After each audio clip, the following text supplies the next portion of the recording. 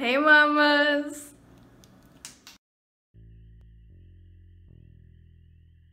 Hello and welcome to this episode of Bedroom Unsolved. Hopefully the only episode because I don't know anyone else with a haunted bedroom. So, there is a demon in my bedroom, I think. Or a spirit, or maybe I'm just losing my mind. This investigation, investigation, is gonna have three parts to it. Stage one, I'm gonna show you guys the evidence of why I think there's something in my house. Stage two, I'm gonna bully it because the, this thing has kept me awake. Like I'm not showing it mercy. And stage three, I'm gonna like bless the house, I guess, or like prevent anything happening. So, stage one, evidence. First thing I ever noticed, this happened last week, is almost every day when I would get out of the shower, over here, okay, on this part, my skin would be red, and there'd be three white scratches, which, okay, I could chalk that up to myself. Like, I could have scratched myself, which is normal. But that would make sense if they were red scratches. But this is red skin and white scratches, which means the pressure of them had to be like pretty high. So I would feel that, but I didn't feel anything. So that's weird, but I'm like willing to chalk that up to coincidence. Oh, the sun's coming out. How nice. When I, when me and my sister were kids, okay, because we've lived in this house for almost 10 years. When we were kids, we would refuse to go into the like the back bedrooms alone because we just like it always felt like something was there like we didn't feel alone and it didn't feel safe. Also when it's like this is something me my sister and i have both noticed is when we sleep okay? Like i'm trying to sleep and it just feels like something is touching my leg like my ankle or leg and it feels like finger pressure specific excuse me bitch! That's a siren okay not a scream. Oh the sun is going away how nice feels like finger pressure so that's weird but that could also just be like imagining it in our like half sleep. Then, two nights ago, it was 1 a.m. and I was staying up late because I had to work. And when I go to bed, I'm half asleep. I'm trying to sleep and just a photo frame in my room just drops and it makes this huge noise that echoes around the house. I'm like, okay, my mom or dad's gonna wake up and be like, what the happened? They didn't wake up. That was pretty odd. I was really scared, but then I was like, you know what? That's what the demon wants just whatever, I'm not scared of it. I was also working that same day, okay, before I went to bed. Out of the corner of my eye, I just see a shadow run past. And I'm like, hello? It was like just a shadow ran past, and I saw it out of the corner of my eye, so I'm just willing to be like, okay, I, I could have imagined that. I have a wild imagination. I could have imagined that. And then there, my mom, okay, she agreed with me. Last week, she had a nightmare where basically my mom and dad's bedroom they have a whole wall that's a mirror. And this BuzzFeed Unsolved episode, The Haunting of Hannah Williams, the psychic basically said that mirrors are known as portals for spirits and demons. So I'm like, okay. And my mom sle- sleeps with her back to the mirror. So she had a nightmare that was so vivid that she woke up in shock. Um, she basically felt like she got pushed from behind, like really hard pushed, and she woke up. That's all the evidence I have. Is it something, or am I losing my mind? Who knows? But we're gonna move on to stage two, which is my favorite part, and we're gonna bully this demon.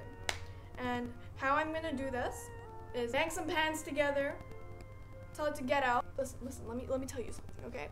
Coming from a Leo, like I am a Leo, okay? Coming from a Leo, demons want attention. It's just like me. I know what it wants. It wants attention because I like attention. I'm not gonna give it attention. I'm gonna get my video out of it, I'm gonna get my content out of it, and I'm gonna leave. Like, hello, you don't mean anything to me, okay? I am a Gryffindor, okay? I am not scared of a thing in my room.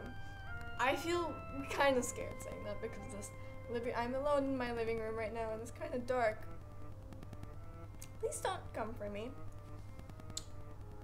Let's go bully some demons! So right as I was about to, like, like, I was setting up the mic and all, okay? I was taping my mic to a perfume bottle. And I'm standing here, plugging it into my phone, and like from here, I literally hear this like, this noise and I'm like, okay, there's construction going around. That could be happening. And it happens again and again and again. But like it gave me a jump and I'm I just be like, I'm sorry, demon, I didn't mean it. Like I actually do mean it though. Like I genuinely mean it. Like You're a sorry, sorry? Who am I? You're a sorry excuse for a demon. My classes have come closer to possessing me than you have, okay?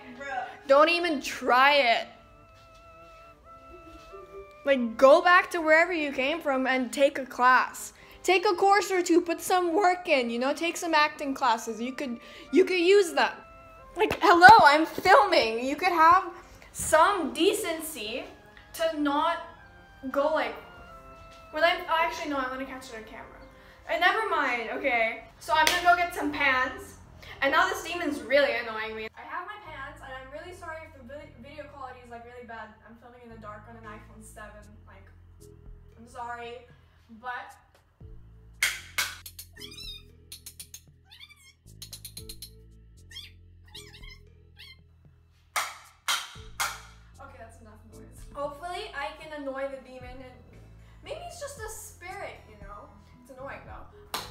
It's time to actually do something useful now, and we're gonna, you know, sprinkle some salt here and there.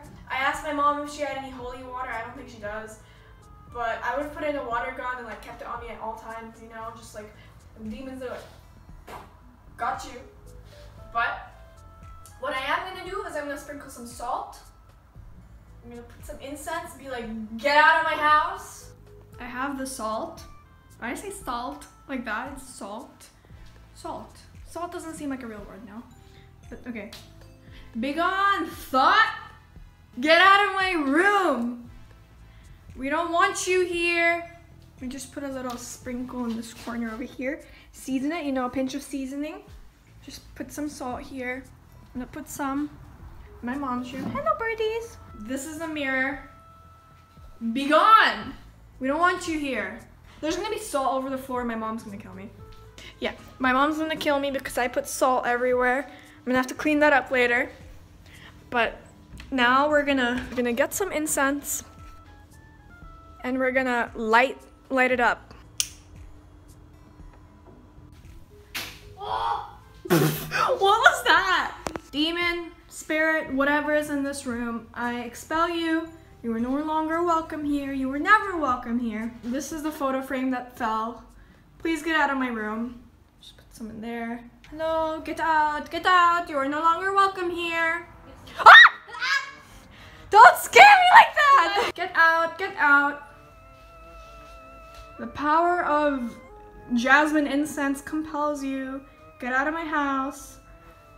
Look, there's a demon. Now there's smoke in my mouth and it hurts. Protect the TV. This is where I watch Netflix, so I need it protected. And that concludes our investigation of this house. Did we learn anything new? Absolutely not. Did I piss off the demon? Or You know what, probably. Okay, this is a disclaimer. I don't actually think there's something in my house. There may as well could be, but I don't actually think there is. Subscribe if you like this episode of Bedroom Unsolved. I probably won't do anything like this again. Who knows, I actually could. If you, DM me if you have a haunted bedroom and you want me to do something about it, you know? Let me know. I, a very skilled professional at this. Yeah, that's about it. Thank you for watching, and I'll see you on the, the next episode of Bathroom Unsolved.